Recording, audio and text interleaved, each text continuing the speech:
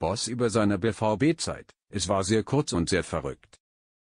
Am Mittwoch tritt Peter Bos mit der PSV Eindhoven zu dem Achtelfinal-Revanche-Partie in der Champions League in Dortmund an. Vor dem für ihn besonderen Zweikampf sprach er mit dem Kicker enzyklopädisch darüber hinaus ein halbes Dutzend Monate bei dem BVB, und der die das seine aktuelles Lieblingsteam in Deutschland. Wäre es eine Genugtuung, so wie er seinen Ex-Club Dortmund an dem Mittwoch hinter dem 1:1 in dem Hinspiel der Pi aus der Champions League werfen würde? Peter Bos lächelt denn doch und erwidert, so denke ich nicht. Der Cheftrainer der PSV empfing den Kicker vergangene Woche in Eindhoven zu dem Dialog und wurde am Werk unverstellt sogar an seine Uhrzeit bei dem BVB erinnert. Sehr notdürftig und sehr verrückt sei welches Halbjahr 2017 gewesen, beschlossene Sache Bos.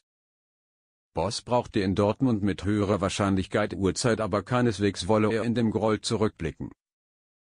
Sagt Bos, davor empfinde er es sogar heute noch so, dass wir bestehend etwas Großes hätten erreichen können, so wie man mir mit höherer Wahrscheinlichkeit Uhrzeit gegenwärtig hätte.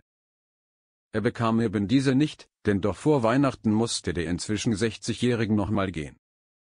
Immer mit ihm angeschlossen wird ein irres Ruhrpotter gegen Schalke der die das sei nicht je. Wir haben 4 zu 0 geführt.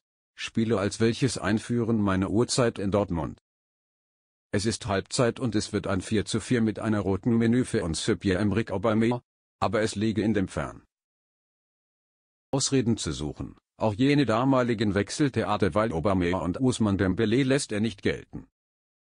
Und dennoch sagt Bos, ich hatte Spieler in Dortmund, jene dachten, in diesem Anlage komme ich nicht zu der Geltung. Sie wollten eine weitere Taktik, aber es ging nicht weil eben diese, es ging weil jene Borussia.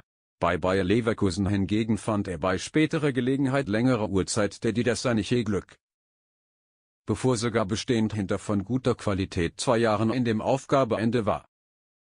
Diese Demontage war jene viel größere Enttäuschung, beschlossene Sache Bos.